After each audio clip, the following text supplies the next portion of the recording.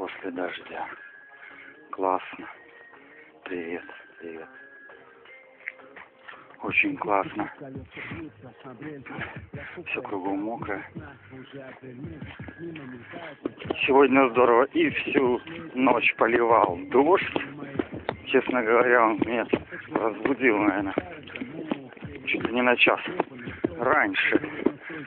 Проснулся, потому что бил, бил и бил подоконникам. Все листья, вся трава, все блестит таким глянцем, освежающим. Ну, вообще-то вот такие необъятного размера лужи, когда приходится обходить. Можно говорить другие слова, но еще же всегда настроение играет свою важную роль. Настроение у нас сегодня хорошее, погода способствует. И вообще все здорово. Не знаю, ну что, бежать по росе? Давай пробовать бежать по росе.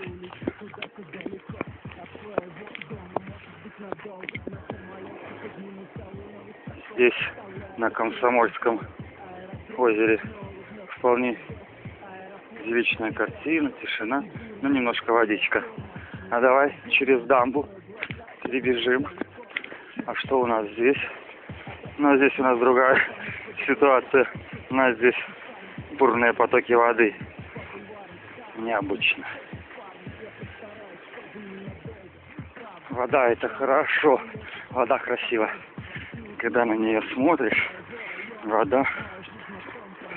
Кстати, скажу тебе, может быть, даже по секрету, не знаю, буду я сегодня в блоге писать или не буду, но у меня уже крутится, варится новый, новое путешествие, совершенно новый маршрут, новое место. Ахнешь, скажу куда. Ах, как красиво. Путешествие не знаю, километров может быть 12, а то и 13, как уже карта ляжет. Нацнянское водохранилище. Самое интересное, что там будут ожидать какие-то сюрпризы. Есть там маленькие речушечки, крошечные, может даже ручейки. Но не ясно, где там искать брод, или там есть какие-то мостики или жердочки. Как это все будет преодоление, не знаю, не знаю, время покажет. Но это все очень интересно. Ах, шиповник пахнет, благоухает. Здорово. Так что я весь в предвкушении, когда же это все у меня произойдет и когда это путешествие состоится. Потому что места там красивые, и главное, что там много раз, всякой таинственности. Не, то, чего нравится, то, чего хочется. Ну вот, сегодня мы с тобой попрощаемся. Живи ярко. Приятного тебе дня.